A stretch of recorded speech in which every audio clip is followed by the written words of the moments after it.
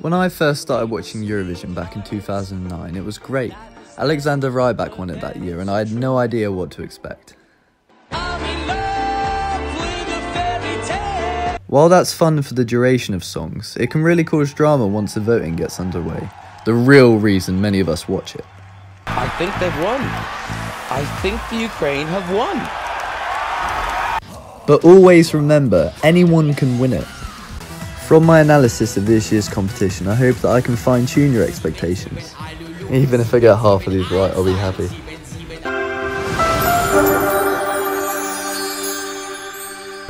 The 10th place in top 10 is always horrible to predict, and I found this choice super hard. As always, I'm going to have to go with the unique and pick Slovenia's Sebi for this prize spot. I said to Eleanor that I would love to have this guy's role in his live performance because he literally does nothing besides pretend to play the guitar. Zala, on the other hand, is extraordinary. Her unconventional stare sided with her amazing vocals are why I placed this 10th.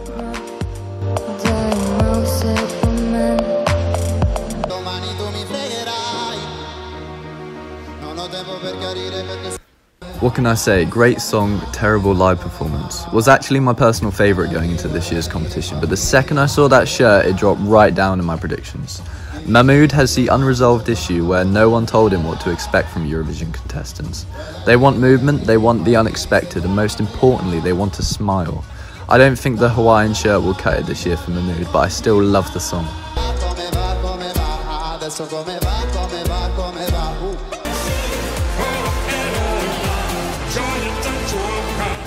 KEiiNO have brought to this year's Eurovision what I hope every entry brings, and that's a song that is designed to win.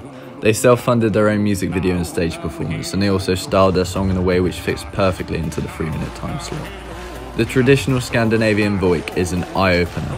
The only thing stopping this song being higher is their limited resources, but what they have done with what they've got is awesome, and I love the live performance on this song.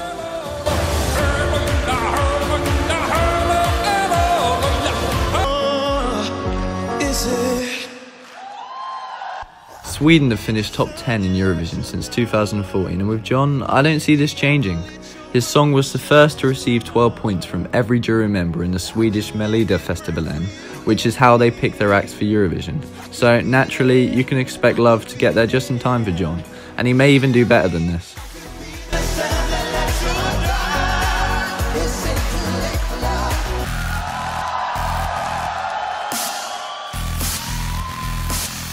For number 6, I'm making my prediction based on controversy and not the song itself.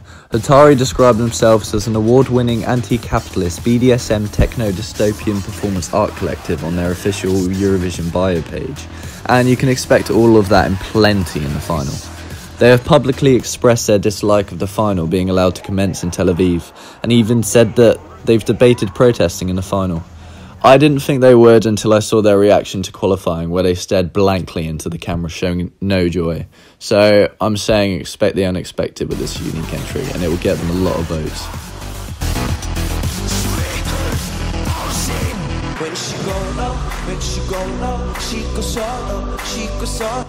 Now, this has the one thing I love on Eurovision songs, and that's crazy dancing.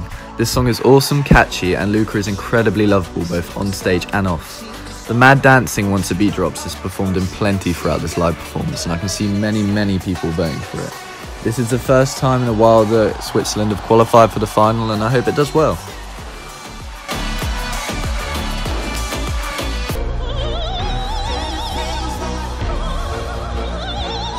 This song is like Marmite, and I personally love it. The reason I want to place it fourth is all down to the live performance.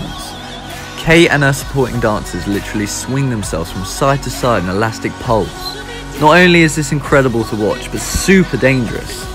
Although I'm sure a lot of people will be hoping these poles snap, I hope her performance is flawless and she never has to swing on those poles again.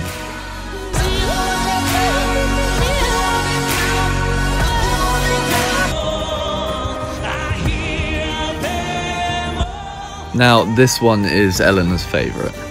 Sergey entered the competition in 2016 as the favourite, but as I predict this time, he finished third.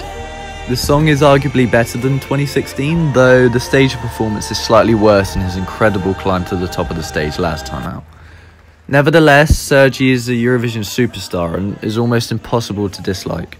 His live performances are near enough perfection every turn and always show off some sort of incredible staging. I would love to see him win, but politics will have a big hand to play on this one.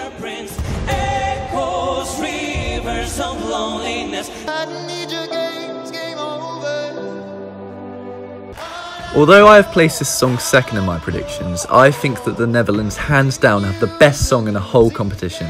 Its beautiful catchy melody along with Duncan's ability to perfectly mirror the studio version on stage is why it was declared the favourite months and months before the competition even began.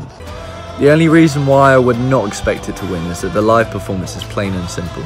But as we saw with Portugal's 2017 entry, simple is sometimes better. There are very rare few cases where I properly enjoy the bookie's favourite, and I would love to see it win.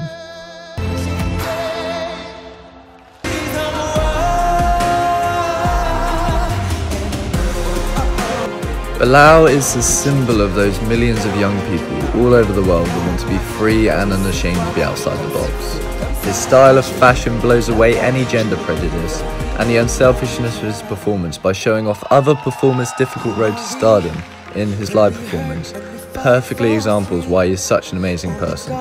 This was one of the few entries into this year's competition that touched my heart in such a way, and it is the best song out of those few that did. So I really hope it wins this year's Eurovision Song Contest.